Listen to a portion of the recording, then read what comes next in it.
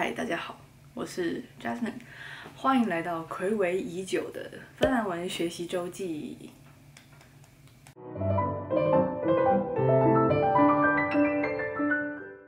为什么会暌违这么久呢？是因为我们学校是一个学年是五个学期嘛，那我就连着第一年我就连着四个学期都修了芬兰文课，但是第五个学期并没有开就是可以衔接下来的课程。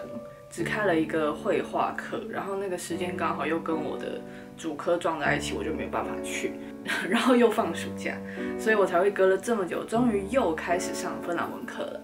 我们是分一 A 一 B 二 A 二 B，我现在上三 A，然后就有一种又往前跳了一个的感觉，因为我特别选了一个老师，他是比较喜欢全芬兰文教学的，就是。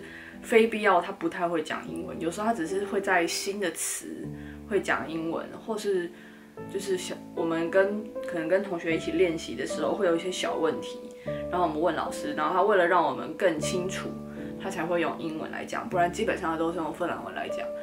虽然可能我觉得会有一点吃力，我可能就是 get 到五六十趴这样子，但是我觉得这样会进步蛮快的，因为我去上课之前我还蛮 panic，因为我。感觉我都忘了，但是事实上还好。然后在这个上课之前，我又复习了我们之前学的东西，发现我竟然还没有讲过形容词。所以呢，今天我决定来分享十组形容词，就是他们都是对比的形容词。这些字其实就是很常用的形容词，就一直都会用到。所以我复习的时候觉得，就是对我现在新的课程还蛮有效的。首先，第一个我想要讲的就是非常常用，就是 hyvä，hyvä 这个就是好的意思。然后 hyvä 的对比就是 huono，huono 是 bad，hyvä 是好的意思。那这个 hyvä 用在很多地方，就比如说问问题，你觉得这个怎么样？hyvä 就很好。那如果说嗯，像是什么生日快乐啊，圣诞快乐啊，都是用这个 hyvä。像生日快乐就是 hyvä syntymäpäivä。所以它就是在 Hyva 加在前面，就是好的意思。然后再来就是上课非常常用的，就是简单跟困难。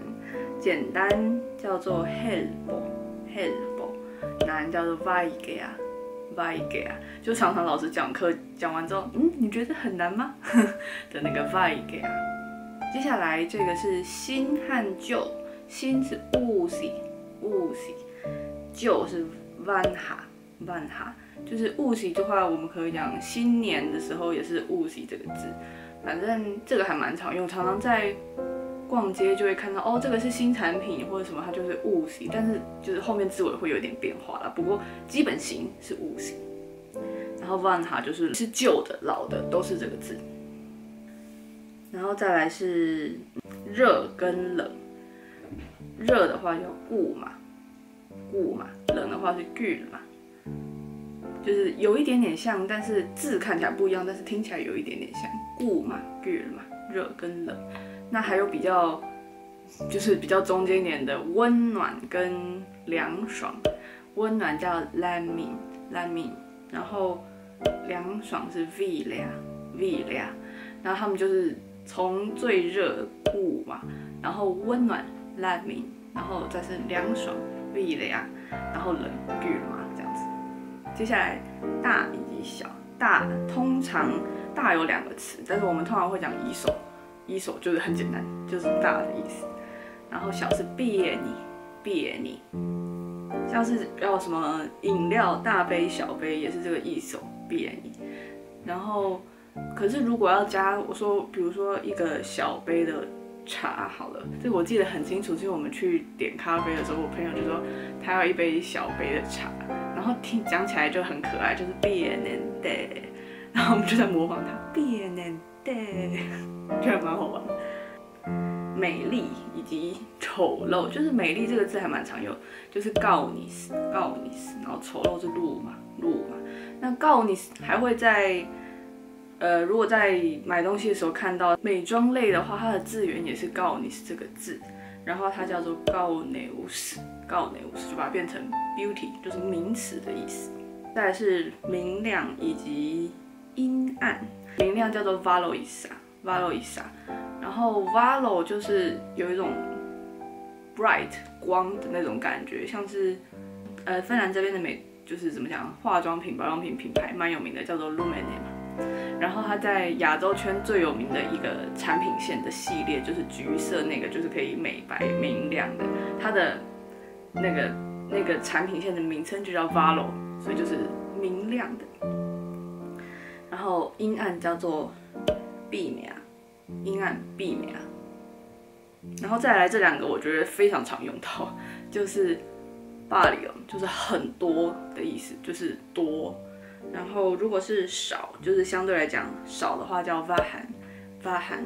这两个非常常用到，是因为巴里勇就是 very much 的那种意思，所以如果要讲谢谢是 gidos，如果非常感谢你 gidos 巴里勇，就是在日常最常用到，我觉得是在这里。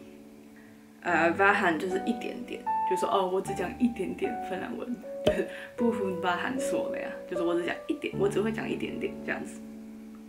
所以讲什么一点点跟很多这就蛮常用的嘛，所以就是一点点发，很多发流。再来最后想要分享的是长跟短，长是 biga，然后短是 lyhut，这两个形容词可以用在平常就讲的长跟短，比如说呃时间的长短、距离的长短，还有身高的高矮都可以用。所以我觉得这两个还蛮实用的。如果说呃你的你从家里到学校会不会需要很久啊？那时间上的这个很久也可以用 biga iga，就是长的时间，或是你这个距离也可以用 biga，然后身高就是也可以，就这个人长得很高也可以用这个长。那以上就是我分享的这十组形容词，都是比较频繁会看到的形容词。接下来呢，我也会继续认真的做的芬兰文学习周记，所以喜欢的话可以按一个赞。然后芬兰文学习周记我都会把它放在一个播放清单里面，所以这样子整理起来会比较清晰明了。那我们就下个影片见喽，拜拜。